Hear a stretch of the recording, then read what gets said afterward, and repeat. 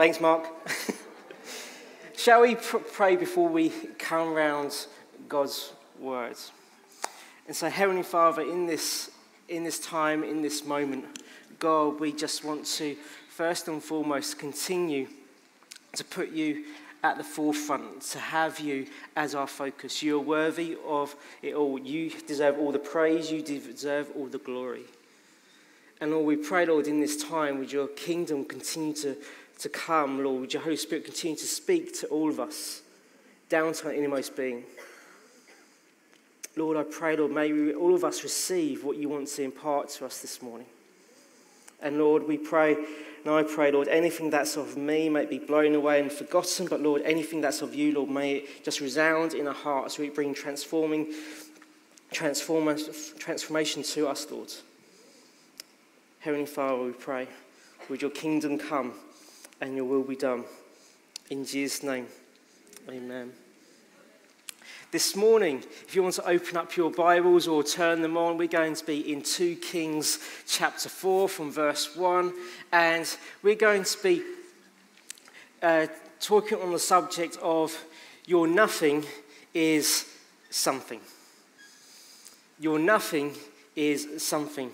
And we are coming into this part, this passage where we have a woman and she's in desperate need and beyond, I think it's beyond desperate, you could possibly describe it. And we're going to, the words are up on screen and it says this 2 Kings chapter 4 from verse 1 says, Now the wife of one of the sons of the prophets cried to Elisha, Your servant, my husband, is dead, and you know that your servant feared the Lord.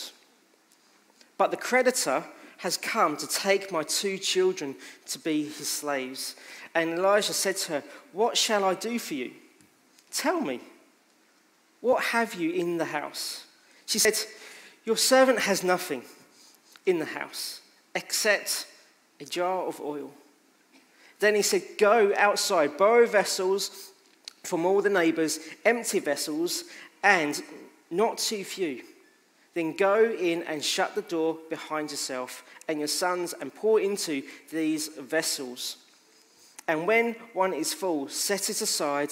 So she went from him and shut the door behind herself and her sons. And as she poured, they brought the vessels to her. When the vessels were full, she said to her son, Bring me another vessel. And he said to her, There is not another. Then all the oil stopped flowing. She came and told the man of God, and he said, Go sell the oil and pay your debts, and you and your sons can live on the rest. We, we have this woman, and it's amazing, isn't it, when all of us know that when the tough times come, life doesn't perhaps work around our crisis. Time and time again, it seems like when one thing happens, the next thing happens, and it's just like a bombardment, isn't it? Sometimes we think, oh, is there just, is there any just peace? Is there, can it just stop? We just need a moment's rest. I just need to, I just need to breathe. Can I just have a, a week? Can I have a day where there just isn't any problems to think about and to worry about? And I wonder if we put ourselves in this woman's situation. It's through no fault of our, of our own that our husband has passed away. He's one of Elisha's uh, disciples, fathers, uh, uh, tra- trainees, learning, from, learning, learning from him. And he's the breadwinner of the, of the family. He would provide protection. He'll be looking after, and I can imagine after a little bit of time how perhaps the money was going down, the food was going bare in the house, and perhaps she had to buy, she had to sell things, and it got to the point where she borrowed so much there was nothing in the house left to sell apart, and it's there, and she's at her wits' end. I wonder, for her, how many sleepless nights did she have? I mean, I, sometimes we can have sleepless nights over our bills, over different things, over things in, in jobs. But can you, can you imagine being told, oh, by the, way, by the way, you've got your debts and because you can't pay, we're coming for your children. I, I would be worried. I wouldn't be sleeping.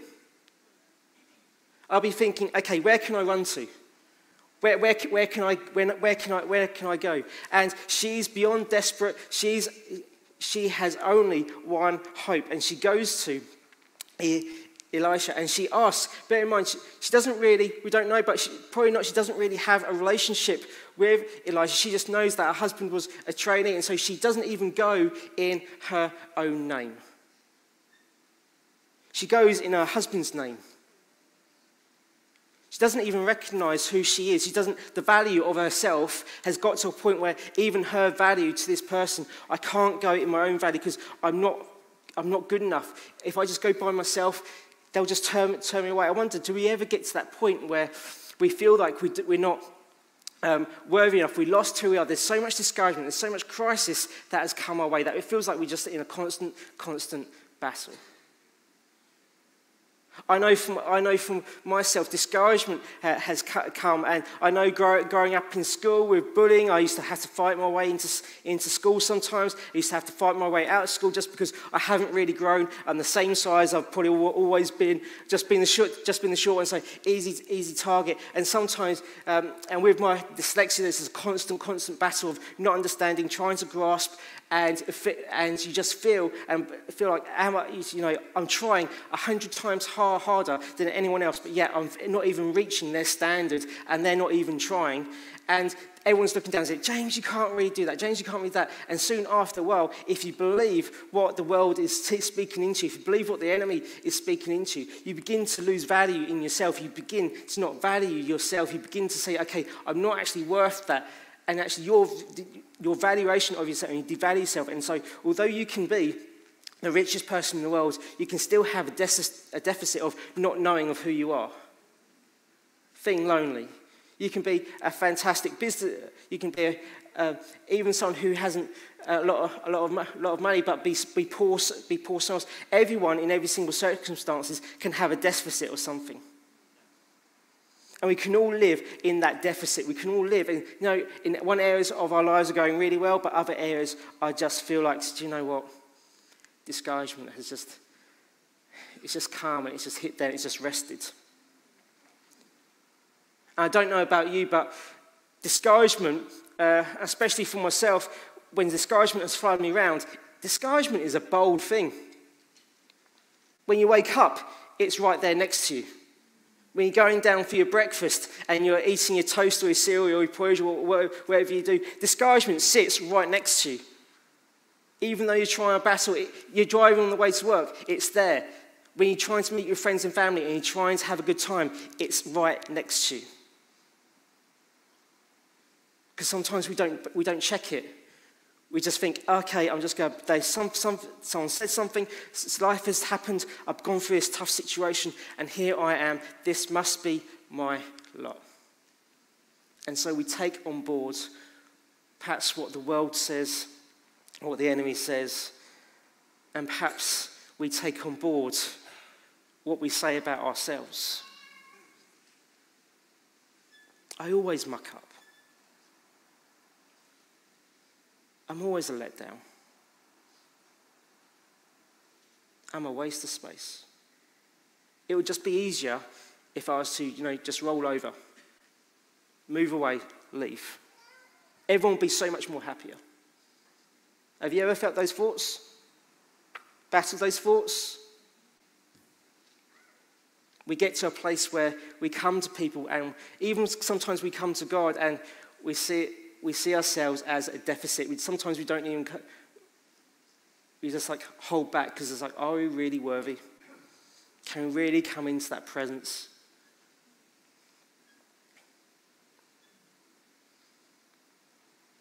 And she's trying to strike, strike up a relationship with, with Elijah just so she can get a little bit of help.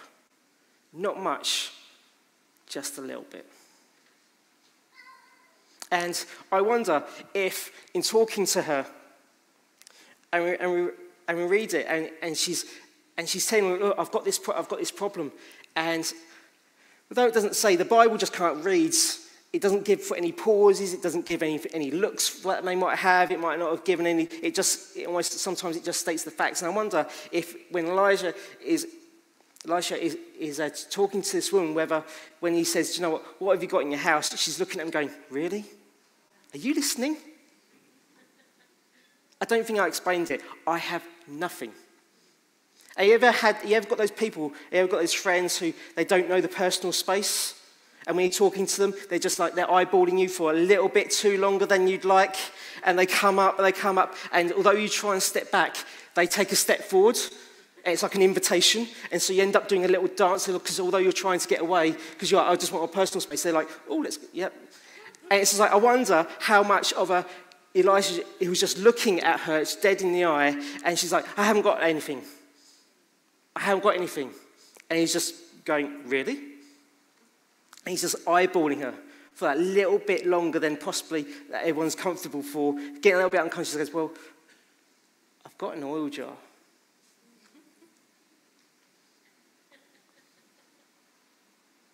And sometimes what we have and what God has given us, sometimes we don't give credit.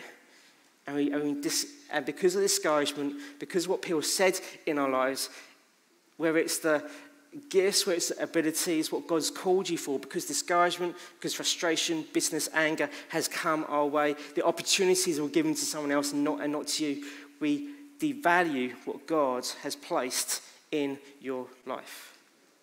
Not for your glory, but for His. Because we have, to, we have to remember that all the glory and honor goes back to God. And God doesn't make a mistake. So the strengths that each and every single one of you have, although be it different, which is good, that's how He created you, or the gifts that He has given you, are not a mistake. You sitting here this morning, no matter what people have perhaps said over you, you are not a mistake.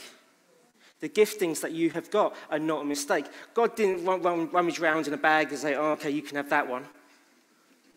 He knew who you're going to meet. He knew the people who you're going to be around. He knew what you're going to do. And He's given you the gifts and abilities to equip yourself in order, because you are made in the image of God, you reflect His character. So when you show mercy and kindness and so on, you reflect and you signpost them to Him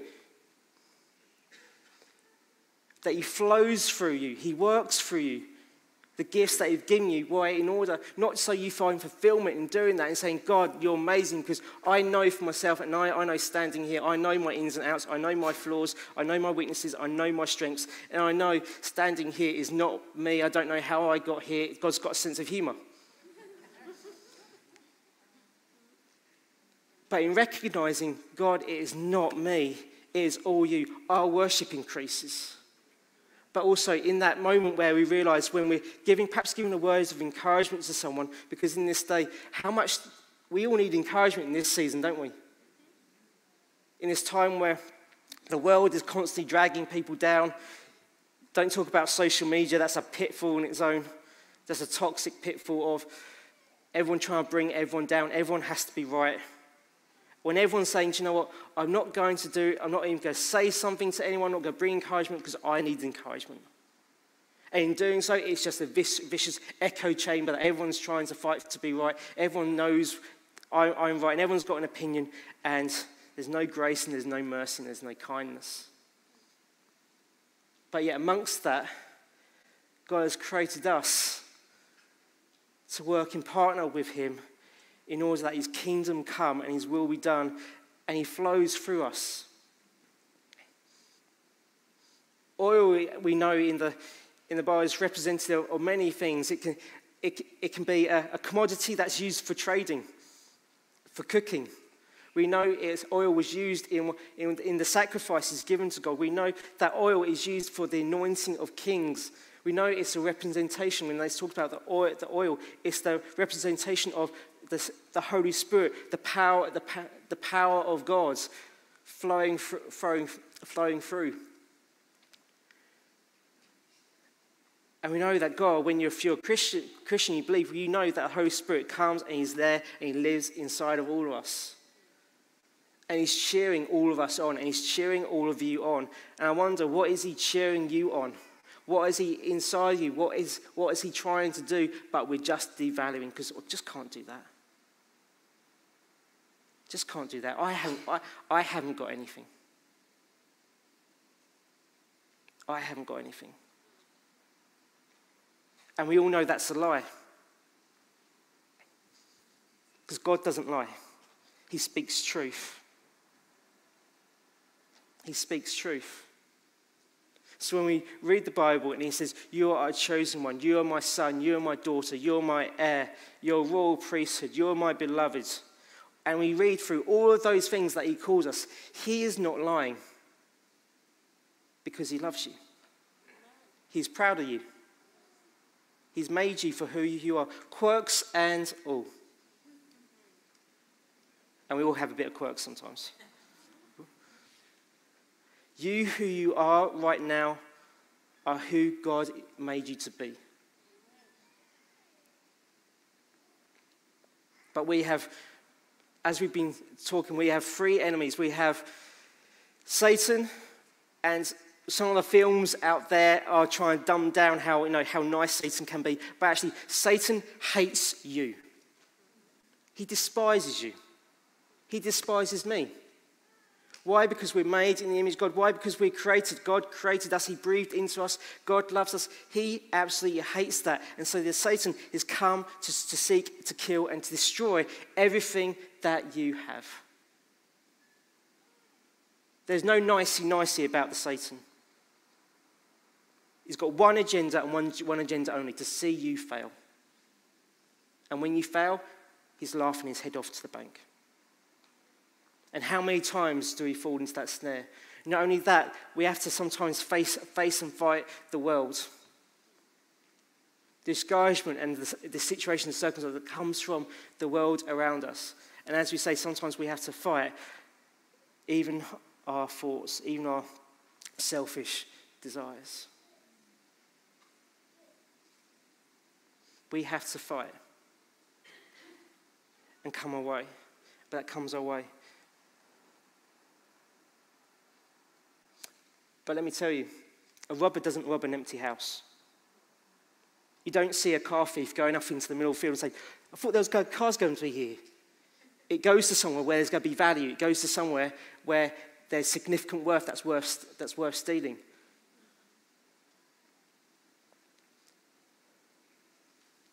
Romans 11 29 says, The gifts and the calling of God upon your life are irrevocable. What God has placed inside of you, He's not going to say, Do you know what? You've been a bad person. I'm taking that back. He has placed those gifts, He's placed those callings, He's placing those values inside of you. Why? Because it's for His kingdom, it's for His glory, because He wants you to exceed, He wants you to excel. Because when you exceed, when He excels, when He flows through you, when you give worship to God, when you trust in Him, that when you're using your gifts, I'm going to trust God when I'm using my gifts and abilities, and I'm going to give Him all the glory. I'm not going to get a big head, I'm going to check my character. When you do that, the kingdom comes, people are encouraged around us, and we show and reflect the kingdom of God, and we act and become like Him. But we have a choice whether we use our, we have a choice where, where what we use our gifts and abilities for. And that's the question for all of us. How are we using our gifts and abilities? Are they to encourage or, say, or, they, or are they to discourage? I know personally, over these last two or three, two or few, two or three years, I've, I see myself as I try to be encouraging as, as possible. But sometimes, and you can ask my wife, I've had to fight the discouragement. And sometimes I've perhaps said something to someone else like, actually, I've, and I've had to go and apologize, say, look, that has come out of frustration, that has come out, I've not meant that, it's just worn me down, I've lowered my guard, instead of being encouraging, I said that. And I've had to go and apologize to a few people. I wonder, as part of the first step of recognizing our gifts and abilities, is to recognize, okay, God, I haven't perhaps used these gifts and abilities in an instructive way, a constructive way. Perhaps sometimes we might need to, in this journey, in the start, just go up to someone and say, Do you know what? I'm really sorry. Would you forgive me?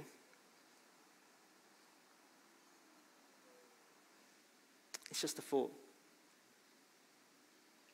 Because as we lower ourselves, that's right, Poppy. That's my daughter at the back. Preach it. As much as we lower ourselves, as John Baptist says, when I lower myself and give God all the glory and the praise, He'll work through. But I wonder what she, when, when Elisha turned around to her and said, Do you know what? I want you to go and, um, yeah, can you just go and just grab other vessels from and other jars and other jugs from other places and just, just, just, bring, just bring them. And what you have left, I just want you to just pour into them. I wonder the look on her face, and she's thinking, but I'm a bad investment. No, I'm broke. I've got debts. No one's going to invest in, in me. Have you ever felt that? God, why would you want to bless me? I'm a bad investment. You wouldn't do, you wouldn't do that. But yet the Bible still makes it clear that while we were still sinners, He, he comes, He still pours. And sometimes when we live in that discouragement, when we live in that anger, when we live in that bitterness, we stop pouring what we have why? because we think, you know what, I just have to keep what I have. Because if I give what I have, I'll have nothing left. And I'm on empty right now. I have nothing to give. So I'm going to let the kids do what they want because I'm not even going to challenge that because I am on empty. I'm going to let workplace do it. I'm just going to let people do what they want. I'm not going to challenge it. Why? Because I have nothing to give. I'm on empty and I've just got a small bit and I'm not going to pour that out because if I pour that out, then I'll have absolutely nothing. And you can see the mentality going, well, if I pour, I'm going to have nothing left. And sometimes I wonder, do we feel like that? If I give, I've been let down far too much. People have just used and abused and run away. I've loved that. I loved my ex partner, but they just ran off, so I can't love again. I can't trust people because because people just let us, let us down. They steal, they take everything. So I'm not going to trust anyone. I'm going to keep my guard up. I'm not going to let any, anyone in. I'm not going to be good to people because every time I'm good to people, they just use me for granted. And it's no point. I just get frustrated. I get hurt. And so I'm just going to be who I am. I'm going to keep what I've got. And this is mine. That's not godly principles.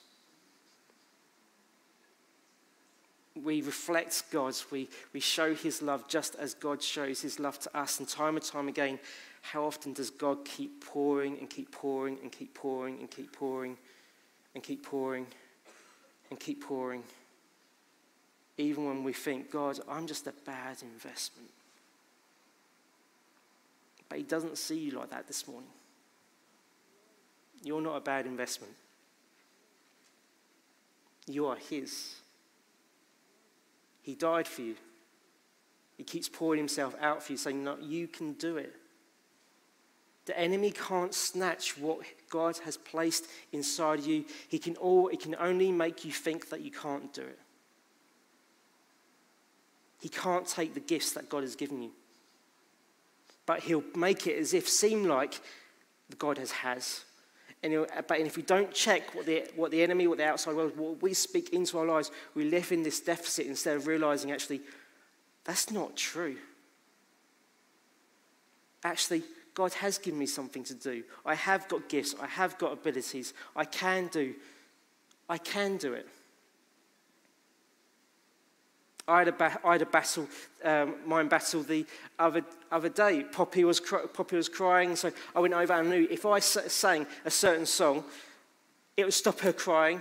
And so I did that, and sure enough, that stopped her crying. It's like now, now in this parenting, doing well. And so I was doing that. Go over to read a book. But because of the words on the book, and the, back, and the cover of the back page meant I couldn't read because the words were jumping around. I couldn't read this book. And you go from one minute, how often can we feel like, yes, we can do it? And next minute, thinking, do you know what? Am I, who am I? I can't even read a children's book. And that's how I felt. Because all the words were jumping around, because the colour was the wrong colour in the book. I'm thinking, how can I even do this? And I'm supposed to teach my daughter how to read? Joy, tag. And, that's the, and see, and again, time and time again, we have these battles. It's not necessarily the big things, it's the small things. Time and time again, the enemy will just come and lay a thought. Uh, perhaps you have been thinking a certain way for a long period of time, and that thought just comes, and we just let that thought in. And we don't fight it, we don't, we don't give it a check. We don't say, actually, what does the Bible teach us? Because what does Elisha say to, the, say to the woman? Go in, close the door. Sometimes we just want to use our giftings and what God has given us when we have the limelight, when we, have, um, when we get all the praise and people just going up and say, actually, first and foremost, it's about character. It's about can you do it behind the closed doors when nobody is, watch, when nobody is watching, not wanting praise, not wanting glory? Are you willing to pour out what God has given you and trusting Him? So when you're pouring, I wonder how many jugs and jars the kids bought because we know that they're, they're enthusiastic, aren't they? They don't just bring one. How many do you want? Okay. I wonder if the whole room was like filled up and just going, really? No more, no more. And they're, they're bringing more in. And she's got this little tap. I wonder when she starts pouring and the oil starts to flow and she's going, I'm trusting you. I'm trusting you. And one gets sealed up and she's just like, really? I'm trusting you. And, you know, one's a push, but I wonder when she's done all of them I wonder, I wonder, time and time and time again, have we noticed that in all of our lives, and especially in my life, when we hold on to stuff and we say, God, we just want a new, a fresh blessing, a fresh anointing, and God's saying, well, you don't need a fresh blessing, you don't need a fresh anointing because you didn't use the old one. You're praying for something fresh, you just need to pour out what I've given you, and in, pour, in the pouring out, He then restores and He gives, he gives more, not just for you, but for the people, because pouring out means it's giving to others. It's not becoming, becoming a Dead Sea where the, the, it just flows into you and you just store everything. It's about, as He pours, you give out. And as you give out and as you're pouring out, he pours in more. He gives you the right words to say at the right time. He puts the words in your mouth. He gives the encouragement that you need. And as the psalmist, psalmist David, in Psalm, in Psalm 20, I was going to say 24, 23 says, know, when he prepares a table before me in the presence of my enemies, it's not just a random table that he's stuck up somewhere. That word is used to, in the presence of my enemies, he's laid a king's table. A table that's, that's used for, in, perhaps it's this, that word is described as a king's table. It was used in courts, in part of the, uh, the temple where the, the sacrifices and the incense and things go. It's an important table, and it's a private table that not just anyone can rock up to and have a meal. It's the king's table, and he says, I lay it before, he says, he lays it for us in the presence of our enemies. So when you get discouraged, it's that I'm going to close the door, I'm going to go back into that quiet place, and I'm going to read what's on the table. And the Bible, there's, there's, they, re- they reckon there's over 5,000 promises in the Bible. That's a lot of food. Plus, on top, I don't know if you can get through that. Plus, on top of that, it's about what God imparts into your spirit, what He says in those quiet moments. Because if you don't have those quiet moments, if you don't shut the door, if you're just living out all the time in the public, in the public, how are you getting fed? How do you check what the world is saying against you? How do you get encouraged? What's your defense? How do you know what's on the table? When Ephesians says God has given you every spiritual blessing. I think all of us will still be trying to work that one out, and how does that work out? But I think part of that is coming and being quiet and sitting at the table and saying, God, do you know what? I am going to shut my mouth. Because time and time again, I don't know about you, but sometimes I think when that person's saying something, I just want to just think, do you know what? I just want to give them a good dose of it back. Have you felt like that? I just want, you know, I can give as good as you get. And about time and time again, God goes, to James, I'm just like, but he's just like, shh. I was like, but you don't understand what's it. He's like, shh. And sometimes that's the frustration between me and God. It's like, God, just, just let me one more t- one time. Just let me. it's like, quiet. He will vindicate you. Don't worry about what the enemy says. Don't worry about what the world says around you. Use your gifts for his glory because the audience around, the people around you, the Satan, they are not your source of identity. It's God. So as you keep pouring, saying, God, I'm doing this for you, I'm doing this for you because you, you have given me this, I'm going to give you all the praise, all glory, my identity. It doesn't matter if people are ungrateful, it doesn't matter if people leave. I'm going to keep on loving, I'm going to keep on being kind, I'm going to keep on being encouraging, I'm going to keep on doing what you've called me to do because my aff- affirmation comes from you and not anyone else.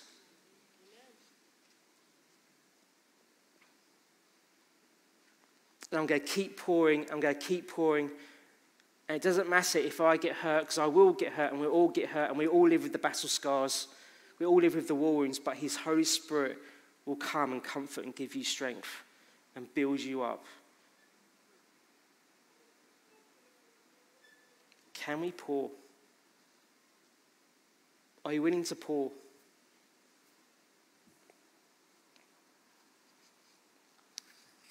God is not limited by the size of us, of our vessels, of what we can hold. He's not limited to that. He'll keep pouring and he'll keep giving. He'll keep using you for as long as you keep pouring. Even when it's on your deathbed, those last few words you say, he'll pour and use those words, whether it's to a doctor, whether it's to a nurse, whether it's to the family that are around you, whatever it may be. Anytime you start to pour, he'll work through.